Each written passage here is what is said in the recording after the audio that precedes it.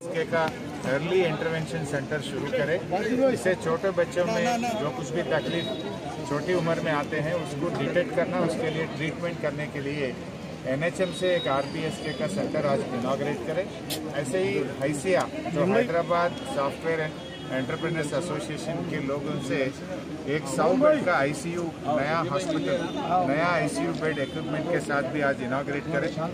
कल के दिन कोरोना थर्ड वेव में बच्चों को आते बोल के दिल्ली से मिनिस्ट्री ऑफ़ हेल्थ अफेयर से बताते आ रहे हैं। उसके लिए सीएम साहब ने 130 करोड़ रुपया सैंक्शन करके पूरी तेलंगाना में, अगर से थर्ड वेव में छोटे बच्चों को कोरोना आए तो भी पूरी तरीके से तैयारी करके रखें। उसके लिए 500 बेड बनाए। उसके लिए जो इक्विपमेंट चाहिए और ऑक्सीजन का बेड्स चाहिए आईसीयू चाहिए पूरा पूरा इंतज़ाम करके रखे हैं।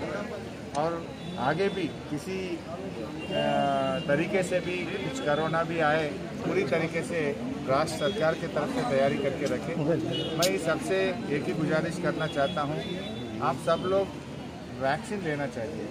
अभी भी थोड़े लोग वैक्सीन नहीं लिए, जो लोग वैक्सीन नहीं लिए, आप ज़रूर वैक्सीन ले लीजिए। आपके अर्बन हेल्थ सेंटर में, बस्ती दवाखाना में, और हमारे हेल्थ डिपार्टमेंट के लोग भी, और महले में भी आके लोगों से पूछ रहे घर घर सर्वे भी कर रहे हैं। जो पहले वैक्सीन लिए, वो लोग ज़रूर दूसरा वैक्सीन लेना चाहिए। जो पहले वैक्सीन भी नहीं लिए, वो लोग भी वैक्सीन लेना चाहिए।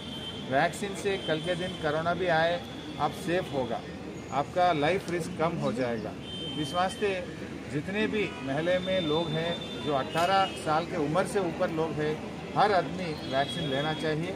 मैं आप सबसे प्रणाम करके बोलना चाहता हूँ, ये आपके घर के लिए, अपना हैदराबाद शहर के लिए, हर आदमी अपना शहर में वैक्सीन लेना चाहिए।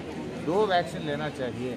वैक्सीन का पहले वैक्सीन और दूसरा वैक्सीन के लिए जो टाइम है, वो टाइम ख़त्म होते ही आप बस्ती दवाखाने में जाइए या जहाँ पर अपने हेल्थ डिपार्टमेंट से वैक्सीन डाल रहे हैं, वहाँ जाके आप वैक्सीन ले लीजिए।